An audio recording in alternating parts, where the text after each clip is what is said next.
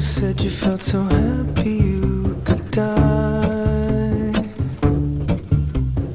I told myself that you were right for me, but felt so lonely in your company. But that was love, and it's an ache I still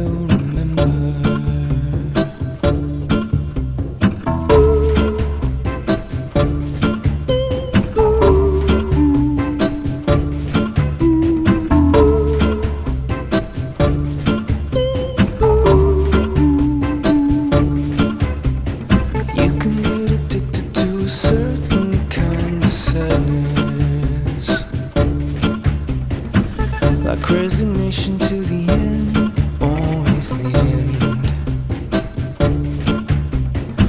So when we found that we could not make sense, well, you said that we would still be friends.